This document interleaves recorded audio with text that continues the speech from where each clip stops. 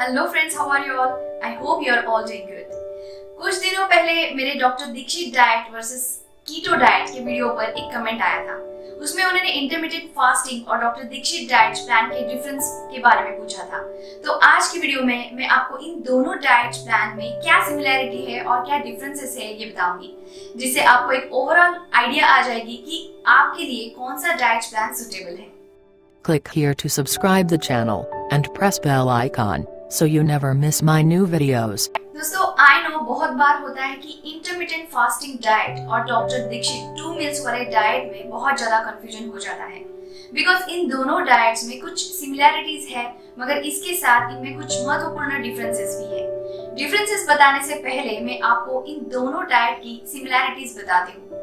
Intermediate fasting diet और doctor Jagannath Dikshit effortless weight loss diet की basic requirement fasting है। दोनों diet में आपको कोई स्पेशल रेसिपीज़ वगैरह नहीं बनानी है। दोनों डाइट का एम आपका वेट लॉस करना है और साथ में कुछ हद तक डायबिटीज़ कंट्रोल भी है। अब मैं आपको एक एक करके इन दोनों डाइट में क्या डिफरेंस है ये सिंप्लीफाइड फॉर्म में बताऊँगी। बेसिकली कोई भी डाइट में तीन पैरामीटर्स इंपॉर्टेंट होते हैं। एक फ़ूड फ्रीक्वेंसी दूसरा food type and portion size और तीसरा एक्सरसाइज पैटर्न तो आज की वीडियो में इन्हीं पॉइंट्स को लेकर हम दोनों डाइट को कंपेयर करेंगे। इंटरमीडिएट फास्टिंग डाइट में बहुत सारे टाइप होते हैं। बट इन दिस वीडियो हम लोग 16 बाय 8 डाइट जो बहुत पॉपुलर है उसे डॉक्टर दीक्षित डाइट से कंपेयर करेंगे। इंटरमीडिएट 16 बाय 8 फास्टिंग में आपको दिन में 8 आवर्स का ईटिंग विंडो मिलता है जिसमें आप आपका फ़ूड ले सकते हो। आई I मीन mean, आपको दिन में 8 आवर्स में खाना है। और बचे हुए 16 आवर्स फास्टिंग करनी है। उन आठ घंटे में आप चाहिए तो दो बार, तीन बार या चार बार खाइए। ऐसा कोई रिस्ट्रिक्शन नहीं है। और बचे हुए 16 आवर्स के फास्टिंग पीरियड में आप कैलोरी फ्री ड्रिंक्स ले सकते हो, जैसे पानी या शुगरलेस टी और coffee but it should be without milk यही डॉक्टर दीक्षित डाइट में आपको दिन में दो बार 55 मिनट्स के स्लॉट मिलते हैं। उसमें ही आप आपका खाना खा सकते हो। दो मिल्स के बीच में कितना टाइम गैप होना चाहिए ये मैटर नहीं करता। बस दिन में आपको खाने के दो टाइम्स फिक्स करने हैं और उनको फॉलो करना है। फास्टिंग पीरियड में आई I मीन mean, दो मील्स के बीच में आप पानी घर पर बना हुआ पतला छाछ sugarless black tea 25 percent milk वाली चाय ग्रीन टी कोकोनट वाटर या दिन में एक टमाटो खा सकते हो। Now our second parameters for comparison is food type and portion size.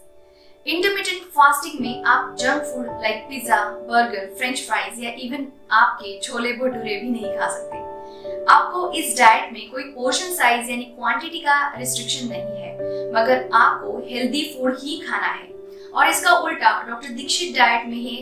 इस डाइट में आपको 55 मिनट्स के दो स्लॉट्स में जो भी खाना है वो खा सकते हो, और वो भी जितना चाहे उतना।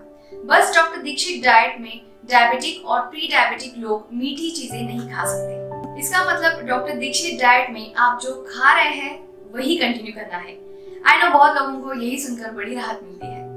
अब बात आती है एक्सरसाइजेस की। इंटरमीडिएट फास्टिंग में ऐसा कहीं पर एक्सरसाइजेस कंपलसरी बताया नहीं है।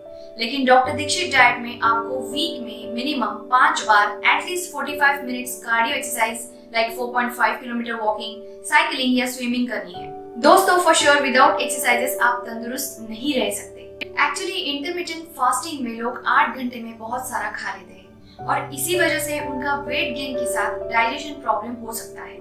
डॉक्टर दीक्षित डाइट में बस आपको 55 मिनट का स्लॉट होता है। इसलिए जितना चाहिए, उतना ही खाना आप खा लेते हैं। और ये डाइट इंसुलिन थेरी पर बेस है। और इसमें 55 मिनट्स में एक बार, ऐसे दिन में बस दो बार ही इंसुलिन प्रोड्यूस होता है। इसीलिए डॉक्टर दीक्षित जी के डाइट से आपकी शुगर पूरी तरह से कंट्रोल हो सकती है। जो इंटरमीडिएट फास्टिंग डाइट से होना थोड़ा मुश्किल है। आई होप ये वीडियो आपके लिए यूजफुल रहेगा तो वीडियो को लाइक कीजिए और ये जानकारी दोस्तों को देने के लिए वीडियो को ज़रूर शेयर करें। इसी हेल्थ रिलेटेड वीडियोस के लिए फिट स्टैंड चैनल को सब्सक्राइब करें। Thanks for watching stay fit and stay healthy